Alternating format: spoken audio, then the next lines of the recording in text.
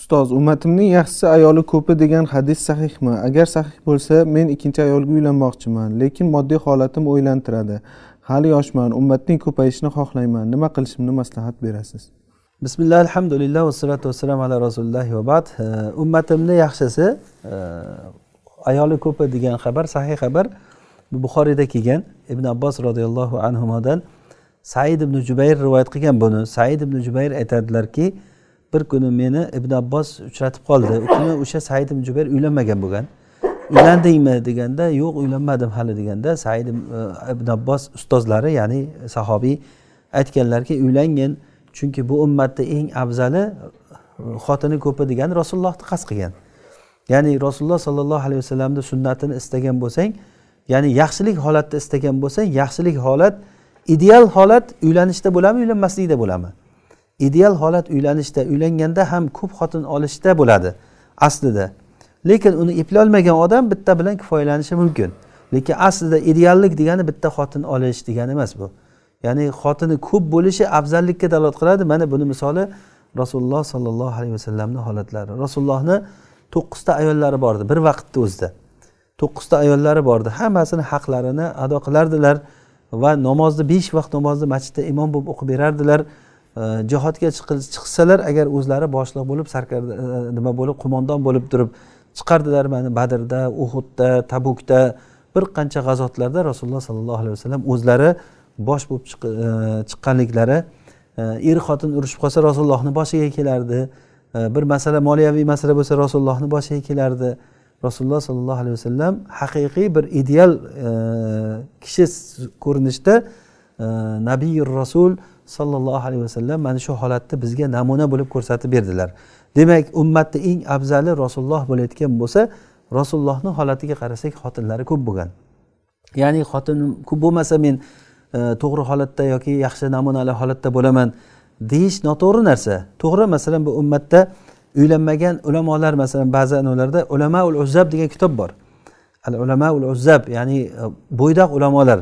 Shu jumladan buxoriyni aytilinadi ibn taymiyani aytilinadi shofiyni aytilinadi yana bir qancha katta katta aimmalar uylanmay o'tgan ekanlar deb. To'g'ri ular uylanmagan uylanmaganligini sabablari bordir. Uni sharoiti bor. Buxoriyda o'zi bir bir joyda qo'nim bo'lmagan. Uylanib oilaga zarar berishni o'rniga bu hali u yoqda hali bu yoqda u kishi hadis oqtarib bu makkaga necha marta borib kelgan makka madina o'rtasida necha yuz martalab borib kelganman degan E, unaqa odam ya'ni uylanib oila bola chaqa qilishi juda ham qiyin bo'lgan. E, uni bir sababi bor uni uzri bor uylanmaganligini uzri bor. Lekin bu namuna emas uylanmaslik kerak ekan buxoriy uylanmagan demak uylanmaslik kerak ekan degan narsani bermaydi. Bizga namuna rasululloh. Laqad kana lakum fi rasulillahi uswatun hasana. Sizlarga rasulullohda chiroyli bir namuna bor. Biz uylanish deganda rasulullohga qarab ergashamiz. Rasulullohni ayollari ko'p bo'lgan ekan. Deymiz va rasululloh ayoli ko'p bo'lishi bilan birga adolat ham qilganlar. Ayoli ko'p bo'lishi bilan birga hammasini joy joyida muomalasini qilganlar. Hozirgi kunda erkaklarga mana shu narsa bir tavsiyamiz borki bu e, uylandimi eplash kerakda odam. Erkak odam o'sha narsani u xotin ko'paytirish emas maqsad.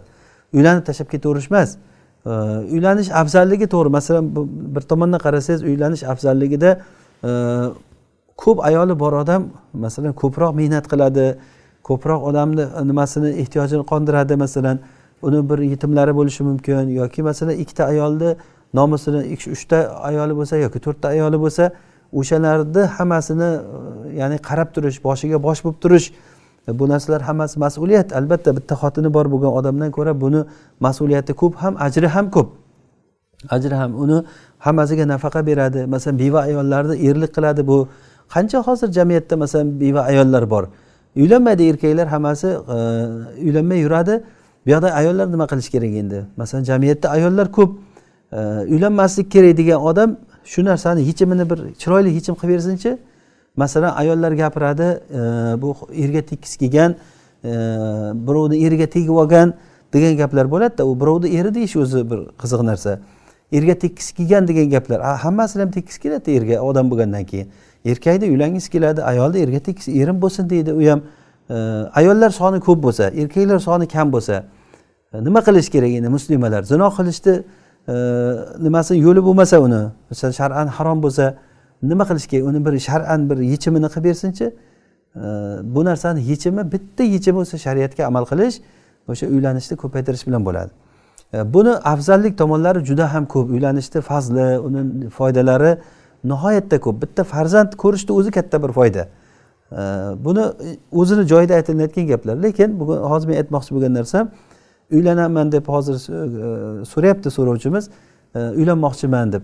Uylanmoqchi bo'lgan odam avvalambor o'sha uylanishga tayyor bo'lishi kerak. Iqtisodiy tomondan ham ho'p iqtisodiy tomondan olloh berar bir sabablarda masalan erkak kishiga olloh bergan o'zi odam bir ozroq harakatini qilsa alloh taolo bir yo'llarini ochaveradi o'zi.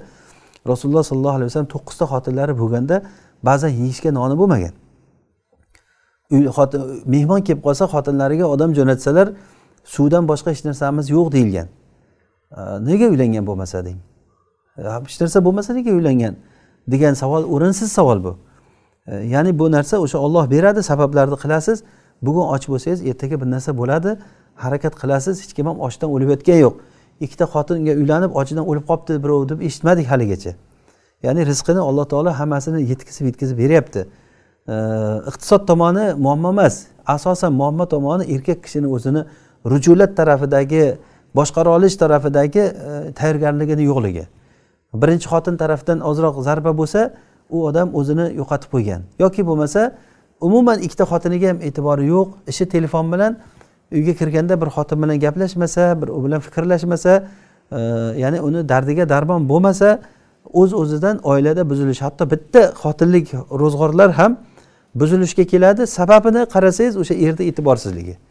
Er bitta uyga kirib olsada o'zi bilan o'zi andarmon bo'lsa yo chiq boshimni og'ritma chiq men uxlayapman chiq meni gapini o'qima e, yo bir kino ko'rib o'tirgan bo'ladi yoki bo'lmasa bir nimadir qilib bir e, foyda befoyda narsa bilan o'tirgan bo'ladi. Lekin ahlini o'zini ustidagi haqqi bor. O'sha narsalarni inson bajarmagandan keyin u ikkita xotin emas bitta xotin bo'lsa ham o'sha e, yaxshi hayotda yashamayapti ko'pchilik odamlar. Shuning uchun uylanaman degan odam mana shu tomonlarga e'tiborli bo'lishi kerak. Inshaalloh agar inson o'zini tayyorlasa erkak kishilarda bu narsaga e, ya'ni quvvat bor. Olloh bergan bir quvvat bor. Erkak kishi bu narsada o'zi faqatgina o'zi o'sha quvvatini o'sha imkoniyatini ishlata bilishi kerak. Inson ko'p ham telefonga boshqa narsaga yopishmasdan o'sha ayollari bilan suhbatlashib ularni hammasi bilan murosa qila olishni inson o'rganishi kerak. Ana o'shanday bo'lmasangiz agar uylansangiz o'zizga o'zi zarar qilasiz. Mana ko'pchilikni ko'ryapmiz uylanadi uylangandan keyin boshlanadi muammo. Aslida muammo emas lekin ular uchun muammo katta muammoni o'zlaricha o'zlari muammo yasab olgan. Xotini kasal birinchi xotin u unday bo'lgan bu bunday bo'lgan ota ona yuz o'girgan boshqa. Ya'ni muammolar ketidan muammolar kelib chiqaveradi. Odam tayyor bo'lmagandan keyin nima qiladi keyin ozroqdan keyin o'sha ikkinchi xotinni sekingina javobini berib yuboradi. Oldin bitta yetimi bo'lsa endi yana bitta yetim bilan ketadi. Bu jamiyatga yetim yetishtirish degani bu. Shuning uchun ham inson o'ylab bu masalaga o'ylab qadam qo'yish kerak. Ya'ni hamma tomonni hisobini olish kerak. Xotinlarni haqqini ado qilish kerak. O'shanda xotinlar ham sizdagi samimiyatni ko'rgandan keyin sizdagi masalan rujulatni ko'rgandan keyin ayollar baribir tan beradi ayollar baribir yaxshilik bilan muomala qiladi. Ko'pincha nimalar o'sha erkak kishidagi nimalar bo'ladiki boshqara olmaslik e, nimasini ko'p ko'ryapmiz. O'sha bir ayollar bilan yaxshi bir e, samimiy bir suhbatlashish tushuntirish ishlari bo'lmagandan keyin e, orada ko'p buzilishlar kelib chiqyapti. Buni boshqa omillari ham ko'p o'zini o'rnida inshaalloh aytiladi xullas hozirgi so'rovchimizni nimasiga men nima qilay nasihat bering deganda shu siz avvalambor shu narsaga tayyorgarlik nimasini ko'ring. Haqiqatda ham bu ummatda eng afzali rasululloh bo'layotgan bo'lsa rasululloh sollallohu alayhi vasallam e, ayollari ko'p bo'lgan to'qqizta ayollari bo'lgan sahobalarni holatiga qarasak ham bitta ayoli bilan o'tgan sahobalarni bilmaymiz deydi ulamolar. Ya'ni e, deyarli hammalarida ya'ni taaddud ya'ni ayollarni ko'plik holati bo'lgan. Vallohu alam.